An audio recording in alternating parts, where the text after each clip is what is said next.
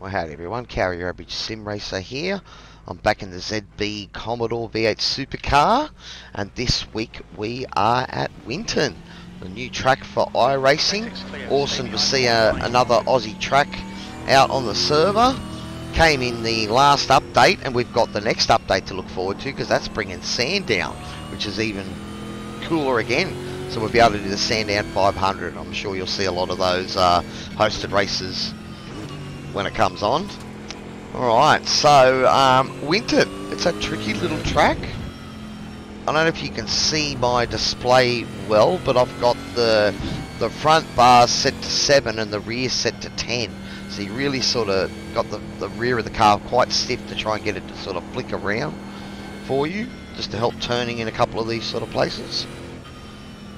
And um, it is a tricky, windy track. Oh, okay, and it's going to be uh, it's going to be difficult to pass. I think you're going to be re relying on pressuring people and and taking advantage of their mistakes. I would say. All right, so we've got a nice little gap here, just in a one of the official practice service I think I'm using a setup that was um, that we got off Brody Kostecki when the track first came out. I have given the VRS one a try, um, but I seem to keep. I'll, I'll come back to this setup. I haven't really driven it since the the track came out on iRacing. Alright, anyway, here we go. Let's start a race. Start a lap, sorry. Oh, caught that. Alright, so there's a line across the road up here, or the uh, road on the right. You want to brake just before that. Back to third. You can use a bit of the curving there. I think you can probably run over the green.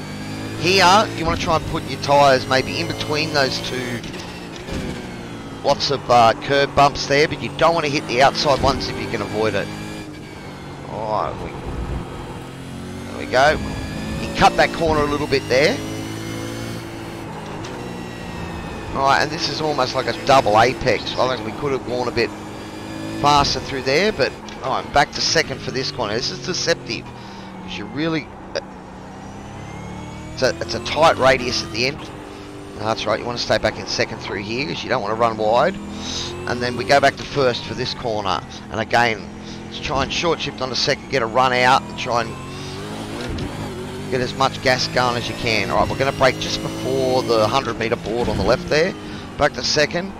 If you stay, get a turn tight, tight turn, you can actually use a fair bit of that exit there, as I just showed.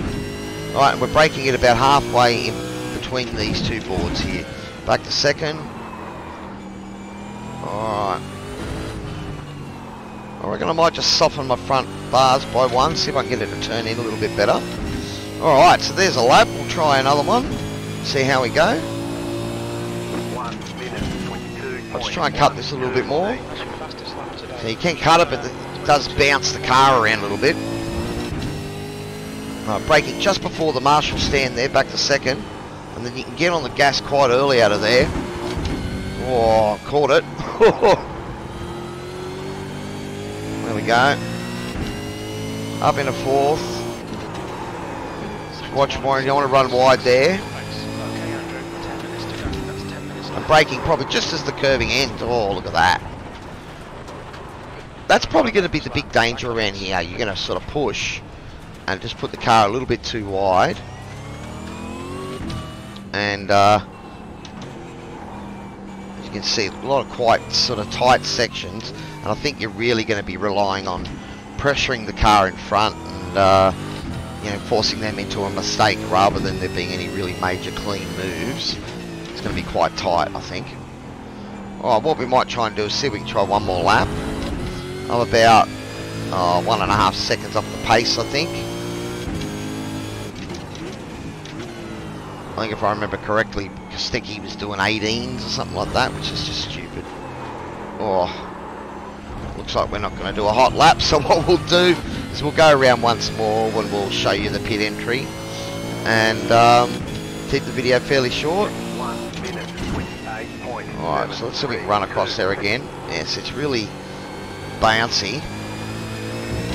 But if you get that in between those two, lots of ripple strips there, I think you know, the car's good. Alright. Okay, we tried to short shift and just go a bit quicker there. Just like one counts. We've got the track. Let's try and we push it a little bit in this one. Okay. And then brake just as the curving ends back to second. Staying tight. There's a fair bit of trail braking you need to use it in this track. There's a lot of light touches. It probably means that I'm overusing it. Well. Alright.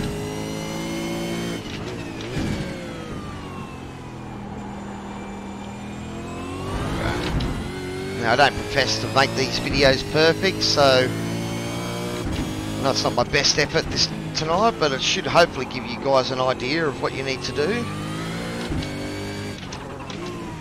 Back to first here, it's a pretty tight corner. And then Speed.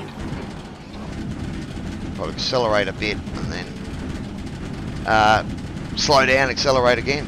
So there it is. It's a fairly easy entry into the pit lane. Don't think it's going to prove too much problem there, though it is pretty tight. Three. So, two, one. Right there here. we go. Oh, shoot, overshoot my pit bay. Anyway, guys, uh, Cowy signing off. Uh, we'll hopefully see a few of you out there because it's an Aussie track. I'm hoping we'll get some good numbers out for the officials. And uh, shout out to all the SRW boys. We'll see you at VRR, uh, VIR, I said, on Sunday. And I'm um, hopefully I can get a good result there. But otherwise, everyone else, Cowy Average Sim Racer signing off.